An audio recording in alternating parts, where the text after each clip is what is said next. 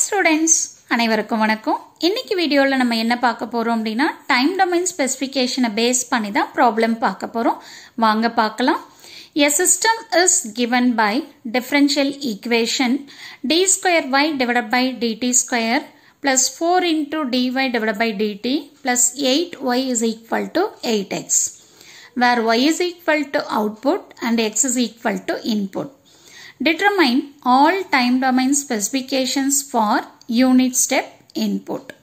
So இதுதான் கொடுத்துருக்குற problem இப்போ இங்கே வந்து பார்த்தீங்கன்னா ஸ்பெசிஃபிக்காக உங்களுக்கு வந்து என்ன ஃபைண்ட் அவுட் பண்ணணும்னு சொல்லலை. ஆல் டைம் டொமைன் ஸ்பெசிஃபிகேஷன்ஸ்னு சொல்லிட்டாங்க. அப்போ நீங்கள் என்ன பண்ணணும் அப்படின்னா டிலே டைம் கண்டுபிடிக்கணும் ரைஸ் டைம் கண்டுபிடிக்கணும் பீக் டைம் கண்டுபிடிக்கணும் செட்டிலிங் டைம் கண்டுபிடிக்கணும். இதை தாண்டி மேக்ஸிமம் ஓவர் ஷூட்டும் ஃபைண்ட் அவுட் பண்ணணும். ஓகேங்களா ஸோ இது எல்லாமே ஃபைண்ட் அவுட் பண்ணால் தான் நமக்கு இதில் மார்க் கிடைக்கும். அதே மாதிரி எந்த இன்புட்டுக்கு கொடுத்துருக்காங்க அப்படின்னா யூனிட் ஸ்டெப் இன்புட்டுன்னு கொடுத்துருக்காங்க. ஓகே சரி.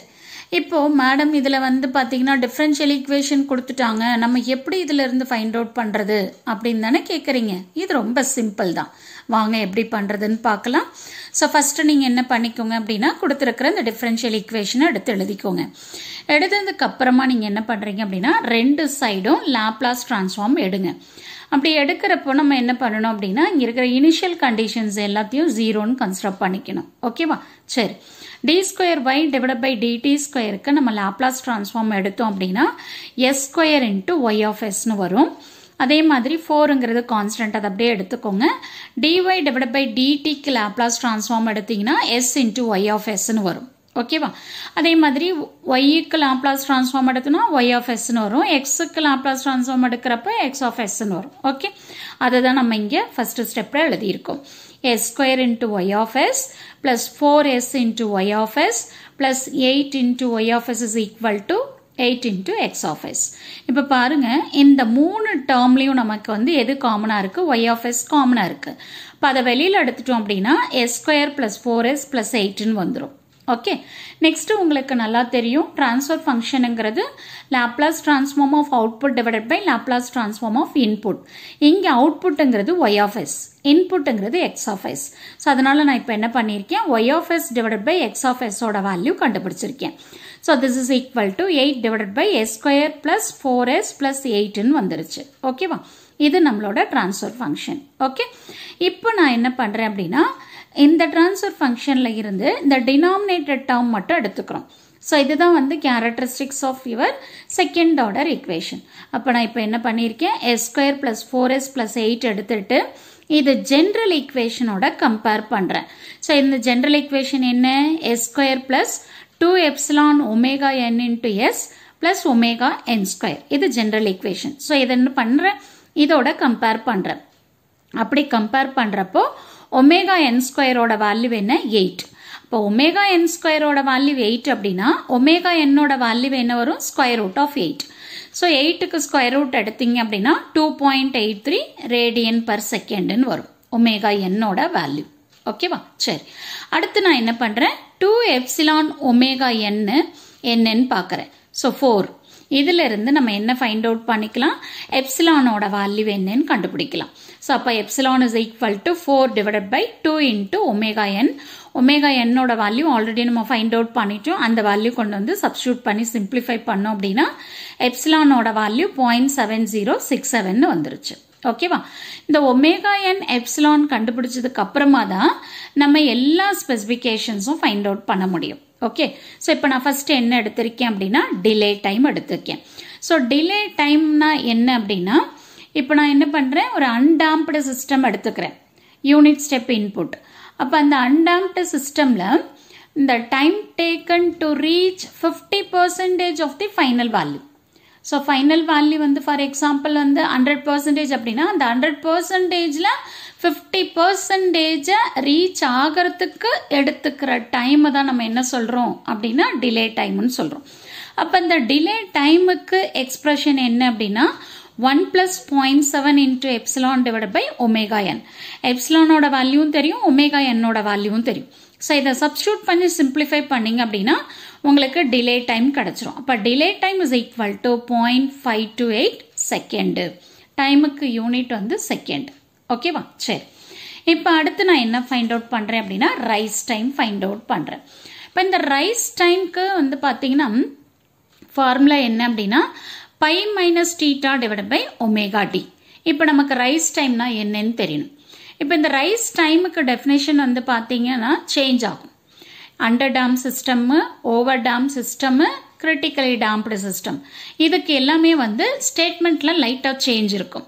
இப்போ ரைஸ் டைம் அப்படின்னு எடுத்துக்கிட்டேன் அப்படின்னா ஃபஸ்ட்டு நான் அண்டர் டேம் சிஸ்டம்க்கு சொல்கிறேன் under damp system எடுத்துக்கிறப்போ time taken to reach zero to hundred percentage of the final value ஜீரோலேருந்து ஹண்ட்ரட் பர்சன்டேஜாக ரீச் ஆகிறதுக்கு எடுத்துக்கிற டைமை வந்து நம்ம என்ன சொல்கிறோம் ரைஸ் டைம் எந்த சிஸ்டம்க்கு critically damped sorry under damped சிஸ்டம்க்கு ஓகேவா இதுவே வந்து ஓவர் டேம்ப்டு சிஸ்டமாக இருக்குது அப்படின்னா time taken to reach the ten to ninety percentage of the final value அது வந்து நம்ம என்ன சொல்கிறோம் அப்படின்னா ரைஸ் டைம்னு சொல்கிறோம் எந்த சிஸ்டம்க்கு அப்படின்னா ஓவர் டேம் சிஸ்டம் இதுவே கிரிட்டிக்கலி டேம்ப்டு சிஸ்டமாக இருந்தது அப்படின்னா five to ninety five percentage of the final value அந்த பர்சன்டேஜ் ரீச் ஆகிறதுக்கு எடுத்துக்கிற டைம் அதுதான் ரைஸ் டைம் ஓகேவா இப்போ வந்து பார்த்தீங்கன்னா ஃபார்முலான்னு எடுத்துக்கிட்டிங்கன்னா pi minus theta divide by omega d so omega டிக்கு ஃபார்முலா என்ன அப்படின்னா omega n into square root of one minus epsilon square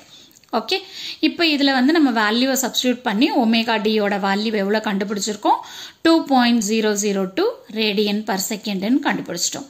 ஓகேவா அடுத்து நான் என்ன ஃபைண்ட் அவுட் பண்ணணும்? டீட்டாவோட வேல்யூ கண்டுபிடிக்கணும். இப்போ டீட்டாக்கு ஃபார்முலா என்ன அப்படின்னா tan inverse of square root of one minus epsilon square divide by epsilon எப்ஸ்லானோட value நமக்கு தெரியும். இதில் சப்ஸ்டியூட் பண்ணி சிம்பிளிஃபை பண்ணிங்க அப்படின்னா theta is equal to forty five point zero three டிகிரிஸ்ன்னு வந்துருச்சு.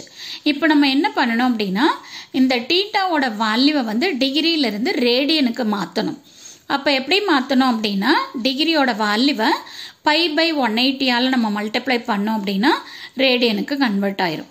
அப்போ theta's equal to point seven eight five five ரேடியன்னு கிடச்சிருச்சு. ஓகேங்களா சரி. இப்போ டீட்டாவோட வேல்யூவும் தெரியும் ஒமேகா டியோட வேல்யூவும் தெரியும். ஸோ இதிலிருந்து நான் என்ன ஃபைண்ட் அவுட் பண்ணிக்கலாம் அப்படின்னா ரைஸ் டைமோட வேல்யூ என்னன்னு கண்டுபிடிச்சிக்கலாம். ஓகேங்களா? ஸோ அப்போ ரைஸ் டைம் வந்து நீங்கள் என்ன பண்ணுங்கள் இந்த பைங்கிற இடத்துல த்ரீ பாயிண்ட் ஒன் ஃபோர்னு சப்ஸ்டியூட் பண்ணணும்.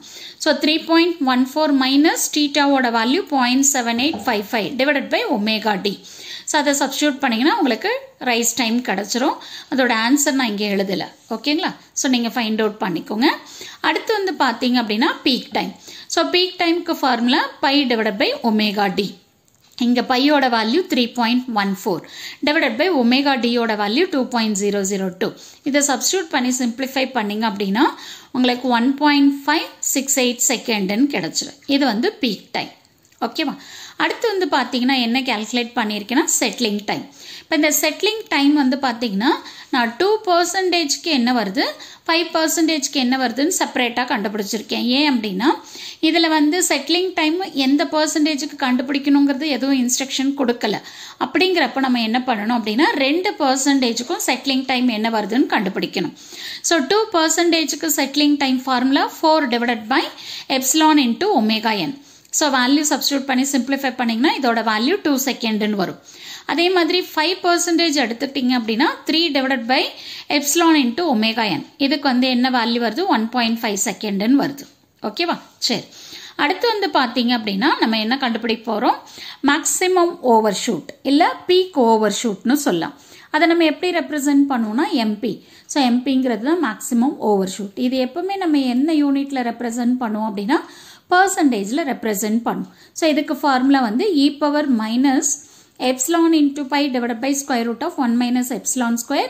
The whole thing is multiplied with 100 so இதை வேல்யூ போட்டு சிம்பிளிஃபை பண்ணிங்க அப்படின்னா உங்களுக்கு பீக் ஓவர் ஷூட் எவ்வளோ வருது அப்படின்னா ஃபோர் பாயிண்ட் த்ரீ ஃபோர் பர்சன்டேஜ்னு வருது. ஓகேங்களா ஸோ இதுதான் இந்த ப்ராப்ளம்க்கான ஆன்சர் ஸோ இந்த யூனிட்டை பொறுத்த வரைக்கும் இந்த டைம் டொமைன் ஸ்பெசிஃபிகேஷன்ஸை பொறுத்த வரைக்கும் உங்களுக்கு எது ரொம்ப இம்பார்ட்டண்ட் அப்படின்னா ஃபார்முலாஸ் ரொம்ப இம்பார்ட்டண்ட் ஓகே ஸோ ஃபார்முலா தெரியல அப்படின்னா இந்த ப்ராப்ளமை உங்களால் கண்டினியூ பண்ண முடியாது. ஸோ அதனால் ஃபார்முலாவை நல்லா ஞாபகம் வச்சுக்கோங்க. திரும்ப திரும்ப ரீகலெக்ட் பண்ணிக்கோங்க. அதே மாதிரி இன்னொரு விஷயம் என்ன அப்படின்னா ரைஸ் டைம் கண்டுபிடிக்கிற மட்டும் நீங்கள் டீட்டாவோட வேல்யூ வந்து ரேடியனில் இருக்கணும். அதை செக் பண்ணிக்கணும். அதே மாதிரி இங்கே வந்து பையங்கிறது ஒன் எயிட்டி டிகிரின்னு போடக்கூடாது. த்ரீ பாயிண்ட் ஒன் ஃபோர் தான் சப்ஸ்டியூட் பண்ணணும். ஏன்னா நிறைய ஸ்டூடெண்ட் என்ன பண்ணுவாங்க அப்படின்னா இந்த இடத்துல தான் மிஸ்டேக் பண்ணுவாங்க. சரிங்களா? ஸோ அதனால் இந்த இடம் வந்து நீங்கள் ரொம்ப கேர்ஃபுல்லாக பண்ணணும். ஸோ கண்டிப்பாக இந்த வீடியோ உங்களுக்கு யூஸ்ஃபுல்லாக இருக்கும்னு நினைக்கிறேன். தேங்க்யூ ஃபார் வாட்சிங் திஸ் வீடியோ